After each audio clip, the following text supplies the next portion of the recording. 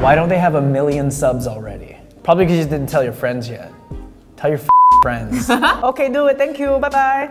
In this video, we're gonna be answering the top questions that you guys asked in our comments, but in an unscripted, rapid fire format. Now, this is gonna be quick, so if you want us to make a specific video on any of these topics, then let us know. Let's do this! What does engage core means? It's when you get on one knee and you propose to your stomach. I do! okay, so the next time you're in the bathroom and you're pooping, you're gonna feel your stomach clenching and you're trying to push it out. That's when your core is engaging and you want to do that when you're dancing so you have better control. Hey, do you have tips for self-taught dancers? Get Steezy Studio. If you're self-taught, then try dancing with friends. Having community is really important and it helps you build beyond what you could ever imagine.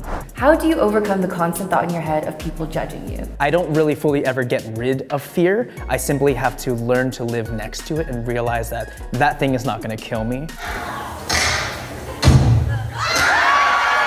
How can I take my body on full control when dancing? Like when I'm dancing, I constantly forget to get my body and hands in place like they shouldn't be hanging low, but when they are, my how my body. First of all, stop yelling. Okay, so this question is basically asking about dead arms. When you're doing something like, boom, and then this arm is like sort of dead over here, this means that you just put way too much focus on this arm. Record yourself and be like, that hand looks ugly, I need a pedicure. Deadly candy. this licorice.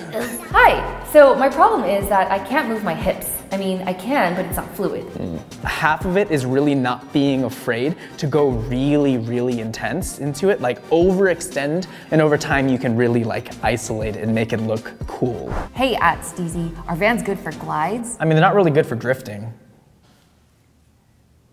Answer the question, Clay. this is rapid fire. It really depends on what you like. The first reason you suck is probably because Don't say it, don't say it, don't say it. I swallow, loser. What?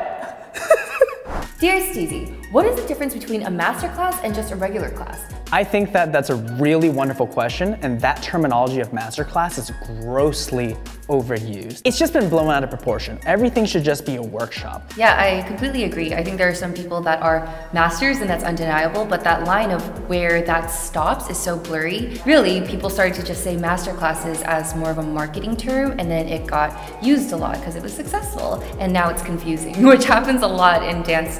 It's really just semantics. Can you answer how you hit moves sharper, please? I always look messy. If you want to practice being sharp, you should actually practice dime stops. All you're doing is adding power to a dime stop. How do you know my exact struggles? Am I being watched? Yes. Am I unattractive, Jessie? Not in the slightest bit. Wait, what about the top one? Oh, okay, sorry, I got excited. I really want to work on emotions because I suck big time at that one. you should link up with this next guy. I have emotions and stuff. I'm just totally lacking in technique.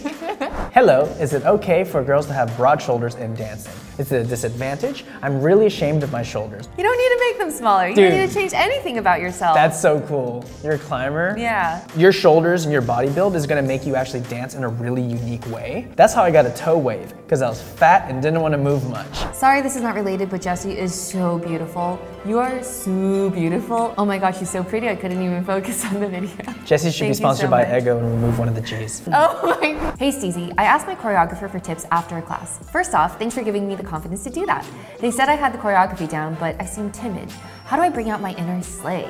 I have to talk to myself. I take a second in class, I breathe, and I envision myself as my highest self performing in the ways exactly that I want to, and then I go try and live it. She looks like she's enjoying it very much.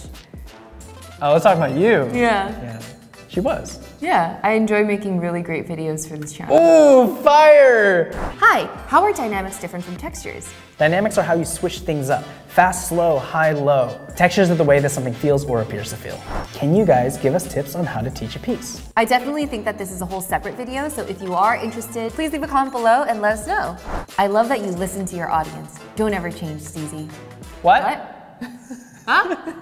Hey y'all, thank you so much for watching this video. It's a little bit different than normal. We're just answering comments and questions. But if you guys like this, let us know. I know that we normally do a deep dive into a topic in our other videos, but we wanted to try something different where it's a little quicker, a little more snappy, and a little more actionable. So if you enjoyed this, let us know in the comments. If you didn't, let us know, because we're obviously reading them. And yeah, we'll see you next week. Make sure you subscribe. It's a vibe.